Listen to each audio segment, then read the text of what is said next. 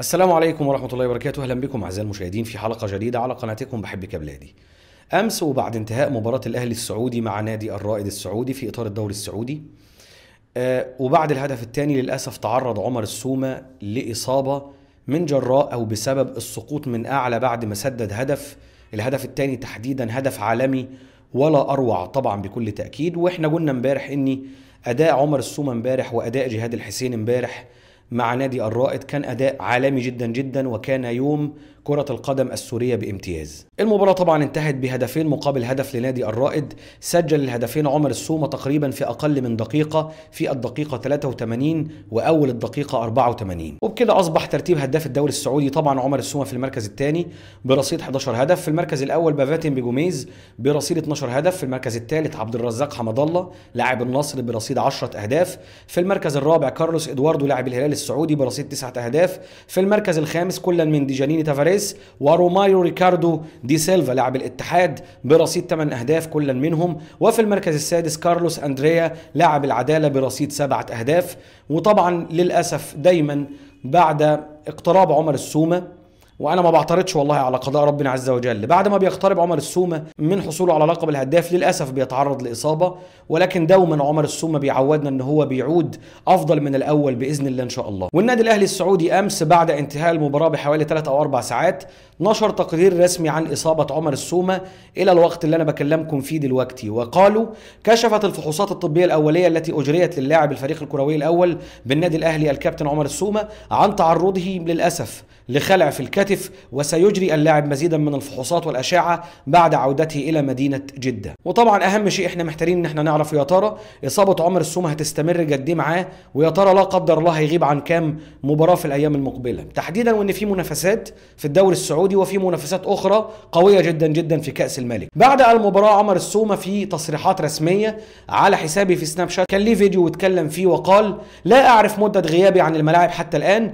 لكني أتمنى ألا تكون طويلة كي أساعد الفريق في تحقيق طموحات الجماهير. وأنهى السومة تصريحاته بقوله أشكر كل من سأل عني وأتمنى الخير لي وللنادي فيما هو قادم. وصحيفة آر تي الرياضية نشرت فور انتهاء المباراة. شاهد السوري عمر السومة يتعرض لإصابة قوية بعد هدفين عالميين. وفورا تفاعلت جماهير الأهلي السعودي مع إصابة عمر السومة بخلع في الكتف وكان لهم ردود فعل شديدة جدا جدا وقوية جدا جدا. والبعض تمنى أن تنتقل تلك الاصابه لهم لأنفسهم يعني والبعض تمنى أن يكون جروس هو المصاب والبعض الآخر تمنى أن تلك الإصابة كان من المفروض أن تأتي لديجانيني تافاريز وليس لعمر السومة والبعض الآخر تمنى الإصابة تكون لبافيتيمبي جوميز باعتبار إن هو المنافس الوحيد لعمر السومة الآن على لقب هداف الدوري السعودي وإليكم بعض من تلك التعليقات. ذكر أحمد على تويتر السومة أصيب وأنا أتألم. وذكر أحمد الغالب سلامتك والله في ديجانيني ولا فيك إن شاء الله. وذكرت كادي وربي كأنها في قلبي ورسمت خمس قلوب مشروخة أو مكسورة. وذكر الشريف على تويتر خلع في قلوب المحبين. وذكر فارس ليتها في جنيني ولا فيك. وذكر عوض بن سعد ألف سلامات على الكابتن الكبير عمر السومة نسأل الله أن يشفيه ويعافيه. وذكر عبد الله ليتها في فتيل وسعيد ولا فيك. طبعا بالمناسبة إحنا ما نتمناش بأي حال من الأحوال إصابة أي لاعب آخر ولكن يعني أحيانا وأنا دايما بقول لكم كرة القدم في المقام الأول لعبة عاطفية وعمر السومة امبارح كان للأمانة أداؤه عالمي جدا جدا والناس تفاعلت جدا جدا مع إصابته تحديدا وإن هو لسه جاي من إصابة اللي هي كانت فتق رياضي أسفل البطن وغاب ساعتها حوالي أربع أسابيع وشارك في احتفال ياسر القحطاني وللأسف لم يشارك بالرغم من إن هو كان بيعاني من الإصابة. الإصابة. وذكر هيبة عالمي سلامت والله في جوميز ولا في العقيد. وذكر فيصل الزهراني في جروس ولا فيك يا قلبي. وذكر حساب يحمل اسم غريب كده بعمري عنه. وذكر عبد الله الزهراني ليت الوجع في كتف الأصلع ولا فيك. واختتم عباس ميرا أسأل الله العظيم رب العرش العظيم أن يمن عليه بالشفاء العاجل شفاء لا يغادر سقما. وبعد مباراة أمس أمام الرائد أصبح النادي الأهلي في المركز الثالث برصيد 29 نقطة. طبعا في المركز الأول نادي الهلال الهلال طبعا عن جدارة وفي المركز الثاني نادي النصر برصيد 31 نقطة. الأول ب 31 نقطة والثاني أيضا ب 31 نقطة. والنادي الأهلي السعودي بإذن الله عنده في الأيام المقبلة مباريات مهمة جدا جدا. مباراة مع العدالة يوم السبت 1 2 الساعة 2 ونص مساء ومباراة بعد كده يوم الخميس 6 2 مع نادي الاتفاق وهتكون إن شاء الله بإذن الله الساعة 7 وثلث مساء. كل التوقيتات دي بتوقيتات مصر وسوريا. تمنياتي بالشفاء العاجل للعقيد عمر السومة وإذن الله إن شاء الله يعود في الأيام المقبلة كما عودنا بفضل الله أفضل مما كان بإذن الله إن شاء الله وينتزع بإذن الله إن شاء الله لقب صدارة الهدافين بإذن الله. ونذهب معكم وفقرة الرد على تعليقاتكم الكريمة والتعليق الأول من حساب يحمل اسم مشجع ريال مدريد. متى سيتم تعيين مدرب المنتخب السوري؟ أخي الغالي إلى الآن ليس هناك أي كلام رسمي. يمكن الاتحاد السوري لكرة القدم كان في الأول بيقول إن إحنا مش عايزين نستعجل على الملف ده. ولكن دلوقتي ومن خلال آخر حلقة للسيد الأستاذ المحترم لطفي الأسطواني السيد عبد القادر كردغلي رئيس لجنة المنتخبات قال إن هو هيحاول قدر المستطاع إن هو ينجز تحديدا وإن إحنا بيفصلنا عن مباراة المالديف يعني دلوقتي حوالي شهر وكام يوم يعني المباراة يوم 31 3 وكمان جاب ليها على الأغلب في مباراة ودية. فبالتالي أنا أعتقد بإذن الله إن شاء الله إن الأسبوع اللي إحنا ماشيين فيه ده بإذن الله إن شاء الله اللي هو بكرة السبت يعني هيشهد بإذن الله إن شاء الله الإعلان عن مدرب منتخب سوريا واللي على الأغلب هو الكابتن نزار محروس. وتعليق آخر من حساب يحمل اسم أبو كدماني لو خيروك تشجع نادي واحد من الدوري السوري مين هتختار وليه؟ ولو تأهل لكأس العالم ولعبنا مع المنتخب العزيز المصري هتشجع مين؟ تعال آخر سؤال. لو المنتخب السوري تأهل وده حلم عمري لكأس العالم ولعب مع المنتخب المصري هشجع بكل تأكيد المنتخب المصري لأن أنا مصري بكل تأكيد. ولكن هنا في تكة. لو المنتخب المصري لعب مع المنتخب الأمريكي والمنتخب المصري فاز هكون سعيد. طب لو المنتخب المصري خسر هكون حزين. طب لو المنتخب المصري لعب مع المنتخب السوري والمنتخب المصري فاز هكون سعيد. طب لو المنتخب السوري فاز برضه هكون سعيد لأن أنا على فكرة بالمناسبة غير متعصب نهائيا في كرة القدم. والسؤال الثاني بتاعك مين أنا بشجع في الدوري؟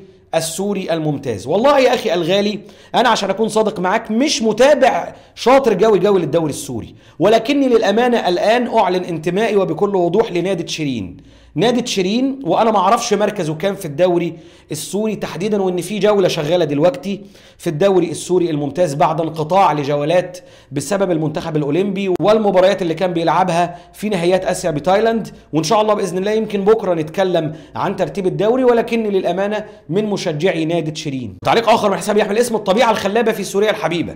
تخيلوا مع جويد مدرب المنتخب وفراس مساعد مدرب وجهاد الحسين ومحمد عثمان خط وسط مهاجم ومن أمامهم العمرين. طبعا يا أخي الغالي هيكون طبعا يعني انت اتكلمت عن أسماء لو اتحطت في صورة هتكون طبعا صورة بهية جدا جدا بكل تأكيد ولكن طبعا بناء على تعليقاتكم أمس وأكيد أنتوا أكثر دراية مني بحال جهاد الحسين. الكل قال تقريبا أن جهاد الحسين صعب إن هو يلعب مع المنتخب السوري ولو إني إلى الآن مصر على أن أنا أطالب الاتحاد السوري لكرة القدم أن يستدعي جهاد الحسين ليشارك مع المنتخب السوري الأول للرجال تحديدا وإن هو ما زال قادر على العطاء. وتعليق آخر من حساب يحمل اسم سوريا وطني. أخي الغالي أحمد يسعد اوجاتك بكل خير. بدي أسألك من خلال متابعتك لكرة القدم السورية من هو الأنسب من المدربين الثلاثة لقيادة نسورنا وتدريبهم وشكرا. أخي الغالي أنا بس عايز أفرج معاكم ما بين أمرين. مين المدرب اللي أنا شايف إن هو كده كده هيدرب المنتخب السوري؟ هو الكابتن نزار محروس.